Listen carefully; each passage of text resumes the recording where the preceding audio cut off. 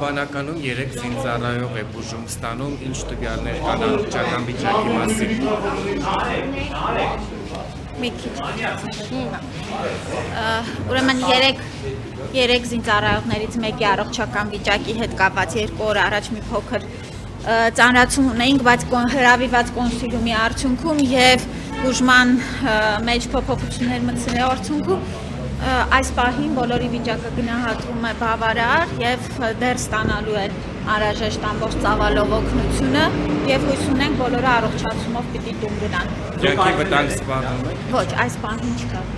Դուք այցելել եք Ես այսօր գիշերն եմ վերադարձել գործուղումից, երևի այսօրվա ընթացքում կայցելեմ։ Դուք քաղաքական թիմի անդամ եք։ Ձեզ համար որքանով է զարմանալի, որ զինծառայողներին պահում են այնպիսի պայմաններում, որտեղ ոչ միայն տարական պայմաններ, այլ անվտանգությունն է զբաղվում, ինչի արդյունքում 15 զինծառայող զոհվում են այսօր կառավարության նիստին վստահ եմ լսեցիք հնչած բոլոր գնահատականների եւ առաջիկայում անելիքների մասին, թե վարչապետի, թե զինդատախազի կողմից եւ բոլոր գերատեսչություններս միասին պիտի անենք, որպեսզի բացառենք նման դեպքերը ցավալի։ Ինչի երկու տարի շարունակ չի արվել պատերազմից հետո ինչ են ասում։ Զինվորները բարեն։ Երկու տարվա ընթացքում մեծածավալ աշխատանքներ արվել են, բայց ինչպես ականատեսենք, դա բավական չէ եւ կան դեռ տեղեր, որտեղ որ պահման պայմանները բավարար չեն։ Որ ասում եք բավարար է, ինչ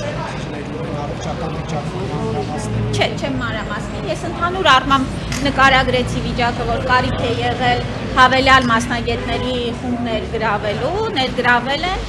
եւ այս պահին Փարքաստո ամեն ինչ լավ է, ընթացքը բավարար է։ Օրինակ ներողություն կապիտանը, հա, ինքը կարողանում է հաղորդակցվել մարդկանց հետ։ Ես որևէ կոնկրետ անձանց մասին, բժշկական վիճակի մասին որևէ բան չեմ հրապարակի։ Ատիկին Հավանեսյան թեմայից դուրս է, բայց դեղագործական ընկերության տնօրենները հայտարարում են, որ հանրապետությունում որոշ դեղերի լուրջ դեֆիցիտ կա, մասնավորապես հակաբիոտիկների, մանկական օշարակների, ինչ կասեք կա, արդյոք դեֆիցիտ եւ սա ինչով է պայմանավորված։ Ուրեմն տեսեք, ընդհանուր առմամբ միջազգային դեղագործական շուկայում բավական դեֆիցիտ կա եւ կա հումքի խնդիր, կա նաեւ լոգիստիկ շղթաների խնդիր։ Մենք այս խնդրին հասցեագրելու համար մի շարք որոշումներ ենք կայացրել եւ ժամանակային շրջանակներում մի քանի ամիսների ընթացքում ինչեւ որ կկարգավորվի արտադրություններում հարցը հնարավորություն ենք ընձեռել եվրոպական արտադրության մի շարք դեղամիջոցներ, որոնք որոնց որ դեֆիցիտը հաստատված է, ներմուծել Հայաստան առանց գրանցման պահանջի։ Դա չի նշանակում, որ այս դեղորայքը չի անցնում բոլոր անհրաժեշտ ռեգուլյացիոն համակարգերով եւ հավաստագրվում է, բայց այս միջանց ուրեմն միջոցառումներով փորձում ենք մեղմել Պետք է ասեմ, որ այս մոնիտորինգը շաբաթական կտրվածքով իրականացվում է։ Մենք հավաքում ենք բոլոր անհրաժեշտ տվյալները, ամփոփում ենք եւ եթե մի տեսակի դեղորայքի քանակների նվազում է նկատվում շուկայում, ապա միջոցներ ենք ձեռնարկում դրա հետ կապված։ Այս պահին որոնց վերաբերյալ է դեֆիցիտ։ Ես չեմ կարող ընդհանուր 5000 մոտ անվանում դեղորայքից պահին նշել, որը չկա, բայց ասում եմ, որ շաբաթական մոնիտորինգ իրականացվում է եւ ամեն ինչ արվում է, որպիսի ընդհանուր այս գլոբալ խնդրին մեր արձագանքը համահունչ լինի։ Տիկին Արվանեսյան, իսկ վիրուսների հետ կապված կասեք նվազեցում նկատվում է ընդհանուր վիճակագրությունը ինչպիսին է։ Ասեմ, որ դպրոցների վերաբացելուց հետո որոշակի ակտիվացում կար, բայց դպրոցներում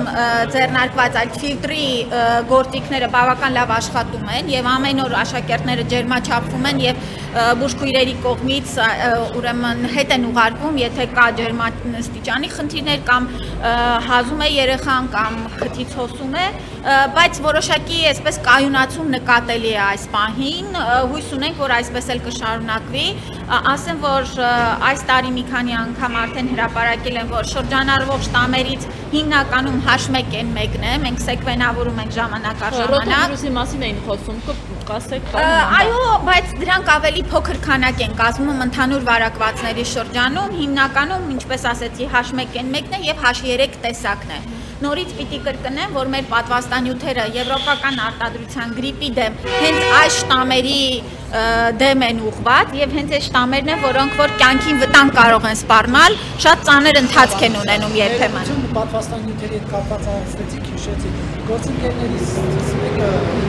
հայր ունեցել որպեսի պատվաստներ գրիպի համար, հարցում, բայց չէին պատվաստել, ասել էին, որ խմբականակի խնդիր կա, բայց օրինակ ես ինքս Երևանում պոլիկլինիկանցի մեկում այդ խնդրին չեմ բախվել, ինչու է այսպիսի խնդիր։ Բոլոր մարզերին բաշխվել է հավասար չափով գրիպի պատվաստանյութերը եւ ասեմ որ երկու օր առաջ ինձ ներկայացված հաշվետվություններում որ որևէ տեղ խմբականակի խնդիր չկա կոնկրետ տեսեք կոնկրետ կարող է մեկ պոլիկլինիկա տվյալ պահին ավարտված լինի, բայց նրանք կարող են ստանալ պահեստից։ Նորակոչիկների համար է։ Չէ, խնդրեմ ինձ փոխանցեք պոլիկլինիկան, հասկանանք ինչն է խնդրեմը։ Իսկ Տիկին Ավանեսյան առողջապահության նախարարությունը երբևէ այցելում է զորամասներ եւ նայում է թե զինվորները ինչ պայմաններում են ապրում, ծառայում։ Հաշվառում նաեւ ազատ տեղի ունեցած դեպքը։ Ուրեմն միանշանակ մենք մեր գործընկերների հետ թե ստանդարտների, թե առողջական պայմանների հետ կապված բոլոր հարցերով քննարկումներում մասնակցում ենք եւ միասին ենք աշխատում, բայց առողջապահության նախարարությունը որևէ վերահսկողական ֆունկցիա չունի եւ իր կանոնադրության շրջանակներում է իր գործունեությունը իրականացնում։ Այսքան։ Շնորհակալություն։